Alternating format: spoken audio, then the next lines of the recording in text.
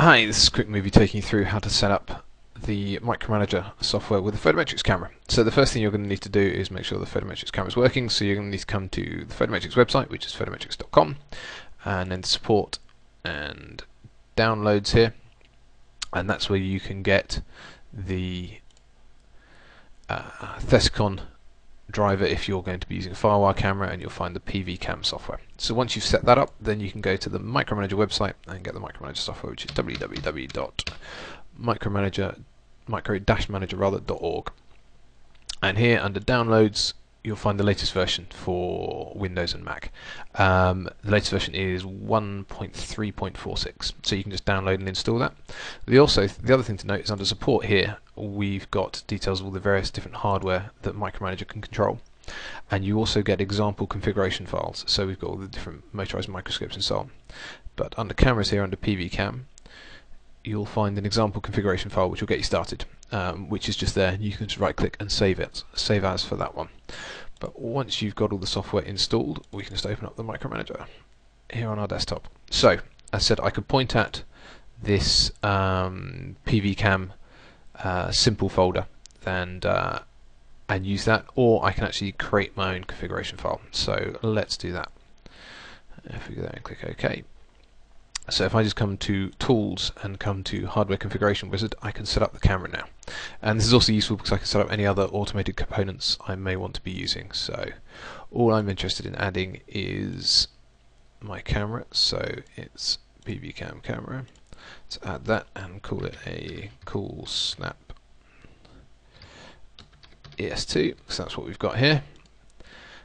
And done. But I could have added in any other components like shutters and filters and so on at that point.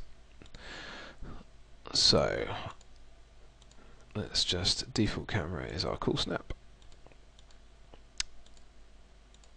As we work our way through there. So let's just give it a name. So let's call this one number 4 so this is PVCam Mat 4 but you can call it whatever you want here and test that.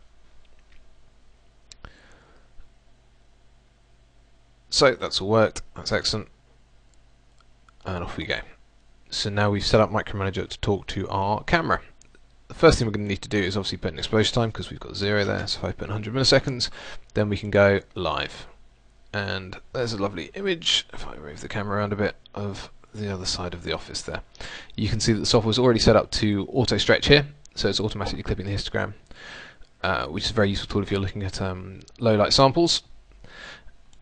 Then if I want to save an image I can just click snap and then come to file and save as and save it as a TIFF, which is nice and easy. Um, the other things to note are to gain access to all the various different camera controls, it's under Tools and then Device Property Browser here. And you can see we've got access to all the things like clearing mode, so at the moment it's going to default to clear pre-expose, whereas I'd rather it went to clear pre-sequence so I could get the full frame rate out of the camera. And I've got access to various different things down here, including the normal or alt normal um, options, the gain levels and so on, and uh, triggers and things like that but that's absolutely fine how that's set up for me. So let's come back and let's go live. Uh, if I wanted to use a region of interest, then it's just a question of coming up here, setting my region, click on the region of interest tool there, and then going live. And now I'll just get a region of interest around that section, or I can take it back to my full field of view using that button. If I wanted to take a movie, then it's just the burst tool here. So if I click burst, and I can enter the number of frames I want, so 100 is fine, and I can point it to where I want them to save.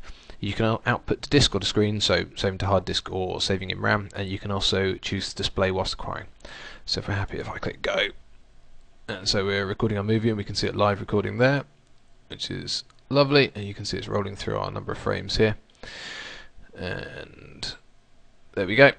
So there's our lovely movie now, which I can then pick up the slider bar here and play along and you can see I was moving the camera around a little bit and I asked for 100 frames and it's taken just about 10 seconds so 10 frames a second which is exactly what we'd expect and then I can save the movie here uh, I hope you found that useful. If you have any questions about running Photometrics cameras inside Micromanager then please contact your local sales office or dealer. Thanks very much.